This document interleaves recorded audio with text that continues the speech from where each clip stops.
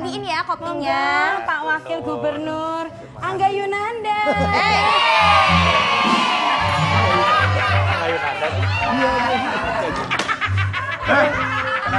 Malah ngetawain tamu. Mama, mama. Ketawanya serem banget, deket banget. Ya, kalem deh kan waktu itu aku eh, jadi figurannya hantu terowongan Casablanca, Nek. Kamu jangan gitu-gitu nanti pulang-pulang jadian loh. Sama siapa? Apa ini Angga Yunanda? Jadikan aku yang ke anak.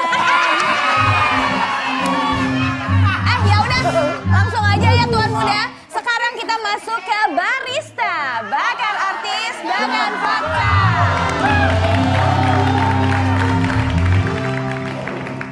Yang pertama, Mbak Arumi.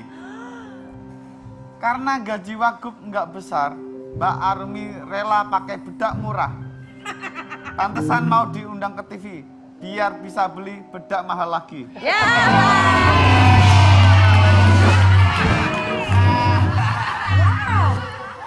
Aduh, pantas cantik ya. Eh, kata gini aku pakai terigu karungan.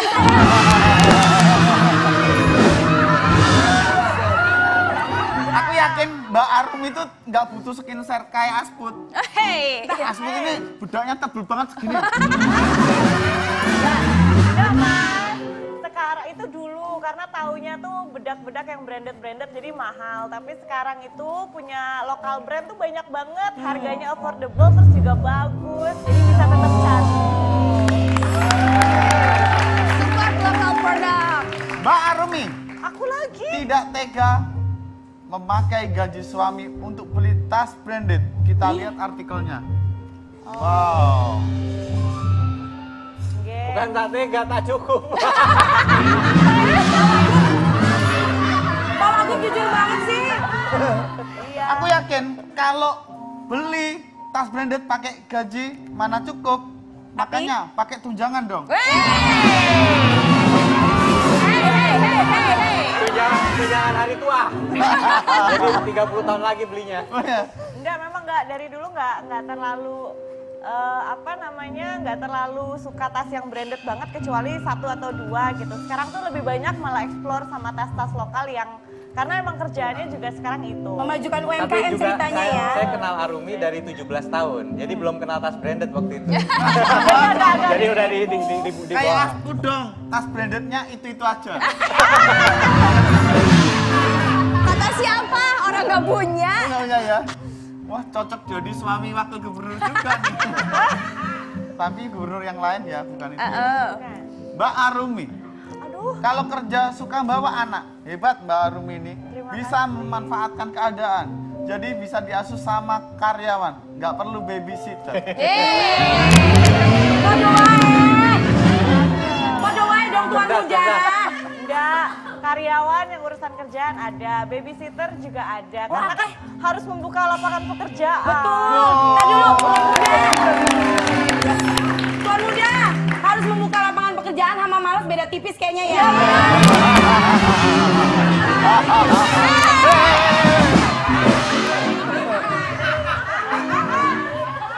Sekarang untuk Bapak yang terhormat, Wakil Gubernurku, KTP ku masih Jatim lagi ya.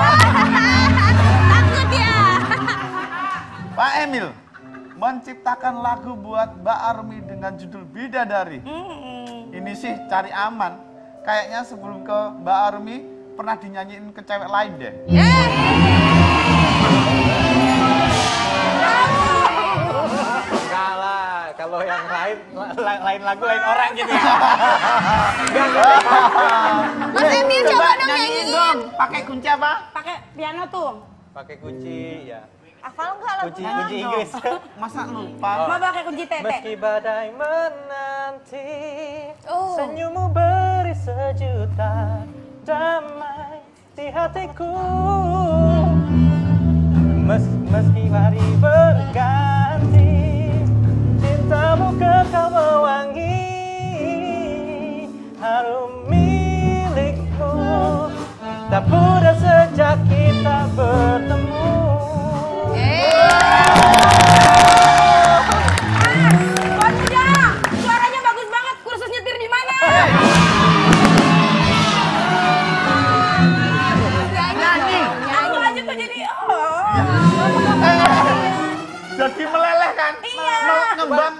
Pas mau nyanyi, mau nyanyi mau lihat dia, tapi yang kelihatan Kan basinya. distract ya.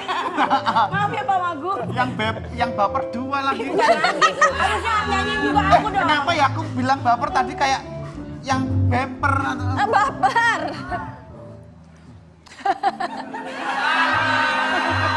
Lanjut Tuan Muda. ini live harus ada remnya ya. Pak Emil meninggalkan jabatan di salah satu perusahaan yang bergaji ratusan juta demi wakil gubernur. Ini membuktikan mungkin dia tidak mementingkan uang, tapi haus kekuasaan. Enggak. Pak ini yang bikin tim kreatif, Pak. Ralat, ralat, ralat, nggak, nggak langsung wakil gubernur, meninggalkan kerjaan jadi bupati dulu. Oh iya iya. Baru habis itu jadi wakil Wangsitmu gubernur. apa itu loh waktu itu mas? Ya, ya bukan haus kekuasaan lah, tapi kan ya itulah kekuasaan. Kekuasaan Allah. Kan ada tiga ya, godaan laki-laki kan harta, tahta, Wanita. Wanita. Tapi insya Allah ini bukan godaan. Satu Bukan lagi dong Pak. Tahta karena hari ini kan pejabat itu melayani bukan dilayani. Tuan Muda, aku nggak setuju tadi kalau cuma tiga. Harusnya? Ini laki-laki, harta, tahta, wanita, dan binatang melata. Aku yakin dengan pertemuan hari ini Pak Emil pasti juga mikir takut disiram sayur asam. Pak Emil ini luar biasa. Umur 17 sudah ngurus kerjaan di Bank Dunia. Wow. Yang lain umur segitu tuh masih ngurusin pacaran loh. Pak Emil malah ngurusin pinjaman. Ini Pak Emil kok banyak banget ya? Banyak banget terus nih. Terus aja. banyak banget. Satu lagi. Satu lagi. Pak Emil, sayang anak, bahkan saat ulang tahun rela jadi pemain keyboard. Jadi udah tahu ya, pensiun jadi wagub mungkin bisa jadi organ tunggal anak apa? Lumayan. Atau apa ngisi organ di sini lah ya, boleh ya mas ya? Komen, komen. Komen. Komen. Mas Donit, rumahnya daerah mana yang di Jatim itu? Oh, mau langsung digusur.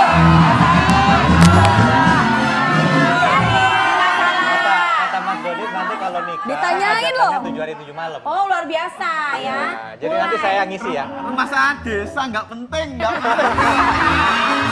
BC. Oh, ala- alamatnya, ih, aku kan orang Jakarta ya. Tatap. Pak Opi, Hah, pernah punya empat istri. Sama istri pertama pernah disiram pakai sayur. Mungkin yang kedua bisa dilempar nasi, istri ketiga daging, susu ngepat susu, dan kelimanya di empat sehat lima sempurna. Dilempar satu-satu. Jangan dong, nggak boleh kayak gitu. Kan kemarin sayur asem doang, besok sayur sama gerobak-gerobaknya.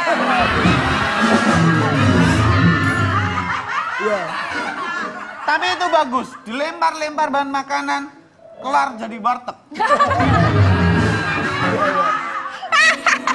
Pak Opi, disiram sayur, mungkin gara-gara istrinya kesel. Pas masak teriak terus, masak sayur biar mateng. Saya sebenarnya malu itu tadi bukan termasuk komedi ya.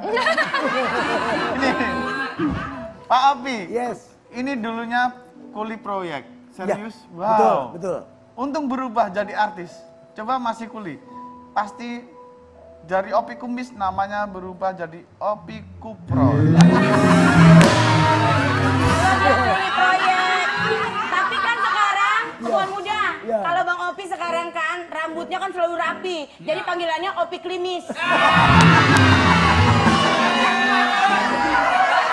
Iya, iya, iya, iya, iya. iya. Gimana, Bud? Keren, Barusannya bintang keren tamu gimana? banget. Eh tapi aku mau nanya Bang Opi dulu jadi kuli berapa tahun Bang Opi? Gua jadi kuli bangunan itu eh, tiga tahun setengah. Wih, itu semennya masih di sini. Tiga tahun setengah. Tiga tahun setengah? Ya. Terus habis itu jadi artis? Ya, terus abis itu kita ikut casting-casting. Castingnya di tempat di kantornya Pak Haji Deddy Miswar. Lolos, mainlah film pertama, judulnya Lorong Waktu tuh. Wih, keren. Mau tahu film-film yang dimainkan Pak Opi Kumis? Jangan ke mana-mana, tetap di show.